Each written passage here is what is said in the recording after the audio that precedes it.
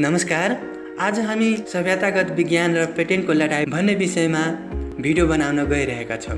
प्राचीन विचार एवं परिकल्पना र आधुनिक वैज्ञानिक खोजहरू बिचमा रहेको अर्थपूर्ण सहसम्मत पत्तो पाउनु पनि आजको वैज्ञानिक कर्मको एक प्रमुख प्राथमिकतामै पर्नु पर्दछ।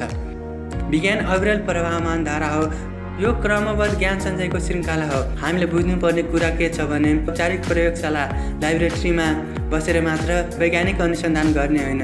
यो त हामी प्रत्येकको दैनिकी पनि हो।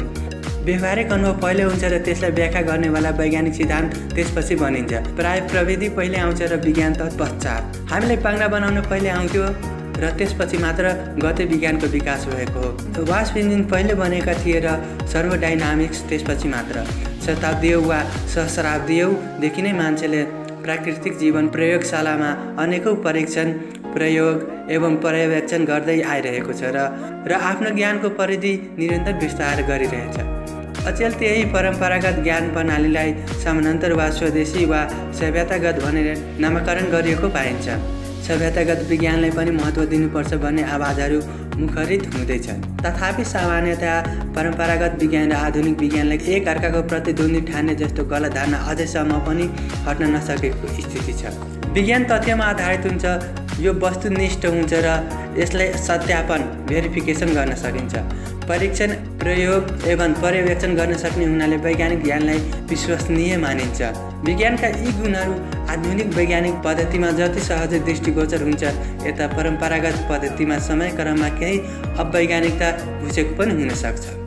कतिपय अवस्थामा त परम्परागत पद्धतिमा रहेका वैज्ञानिकतालाई अवैज्ञानिकताले पुरै दबाइसकेको पनि हुन्छ। त्यो अवैज्ञानिकताको पत्रलाई खुर्केर वैज्ञानिकतालाई उजागर गर्नुपर्नेमा प्राय परम्परागत पद्धतिलाई अन्धविश्वास वा रूढिवाद मानेर अस्वीकार गर्ने प्रवृत्तिले सभ्यतागत विज्ञान र आधुनिक विज्ञानले एक अर्काको प्रतिद्वन्दी ठान्ने गलत धारणालाई नै मलजल गरिरहेको छ।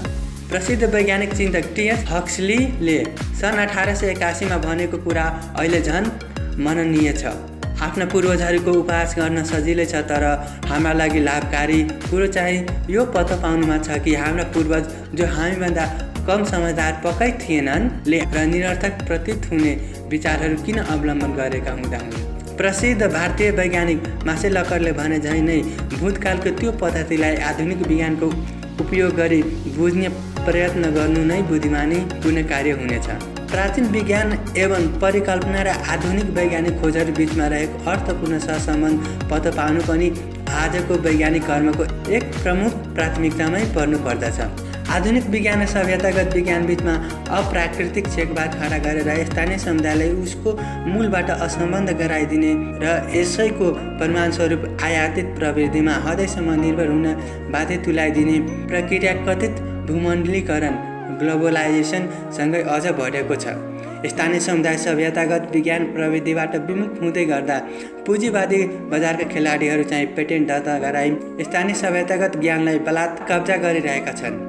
एक अमेरिकी कम्पनीले हलेदो हल्दीको पेटेन्टलाई यसरी नै हटपेपछि भारतले लडेको पेटेन्ट लडाइँ भारतमा जसलाई हल्दी घाटीको दोस्रो लडाइँ पनि भन्ने गरिन्छ यहाँनिर स्मरणीय छ। भारतले प्राचीन संस्कृत साहित्यसहित सबै प्रमाणहरू पेस गरेपछि अमेरिकी पेटेन्ट कम्पनी बलियो प्रमाणका सामने पराजित भएको थियो।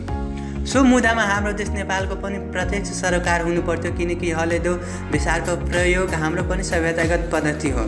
तर नेपालमा सरकार चलाएर बसेका तथा कर्मचारी तन्त्रमा रहेकाहरूसँग यस्तो शुद्धि बुद्धि भइदिएको भए त हाम्रो देशको यो बेहाल किन हुँदो हो र धन भारतका भए पनि बेलैमा होस खुल्यो र आधुनिक विश्व इतिहासमै सायद पहिलोपल्ट तेस्रो विश्वको एक राष्ट्रले अमेरिकासँग सभ्यतागत विज्ञानको अधिकार प्राप्तिका लागि लडाइँ गरी विजय हासिल गरी छाड्यो एवं रीतले निम र बासमतीका पेटेन्ट सम्बन्धी सङ्घर्षहरू पनि यहाँनिर स्मरणीय छ। वर्ल्ड इन्टेलेक्चुअल प्रोपर्टी अर्गनाइजेसन विश्व बौद्धिक सम्पदा सङ्घले पारम्परिक ज्ञानको प्रयोग तथा स्थानीय बौद्धिक सम्पदा र प्रविधिले मान्यता दिनुपर्छ।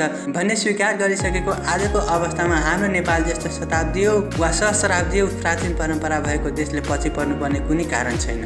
आज भारत लगायत कतिपय राष्ट्रहरू तुलनात्मक रूपमा पहिलेभन्दा निकै सजग भएका छन्। आफ्नो सभ्यतागत प्रविधिलाई अमेरिकी वा युरोपेली लगायतका अन्य पनि कम्पनीहरूले पेटेन्टको जालमा पार्ने सम्बन्धमा। भारत सरकारले ट्रेडिसनल नलेज डिजिटल लाइब्रेरी सृजित गर्नेतर्फ कार्य सुरु गरेको बताइएको छ जसका कारण प्राचीन संस्कृत ग्रन्थका श्लोक निहित ज्ञान र वासिङटनमा पेटेन्ट परीक्षकको कम्प्युटर स्क्रिनको बिचमा रहेको पर्खाल भत्काउन मद्दत मिल्ने आशा उनीहरूले लिएका छन्। तर हाम्रो देशमा नि यहाँ कसलाई छ त यस्तो चिन्ता? यो सभ्यतागत विज्ञान र पेटेन्टको लडाइँ भन्ने सामग्री हामीले युगद्रष्टा डाक्टर निर्मलमणि अधिकारीको ब्लगबाट सवाल गरिएको हौ। यस भिडियोलाई लाइक कमेन्ट र सेयर गर्न नबिर्सिनुहोला। फेरि फेरि यस्तै रोचक भिडियोहरू हेर्नका लागि यस च्यानललाई सब्सक्राइब गरेर घन्टी बजाइदिनु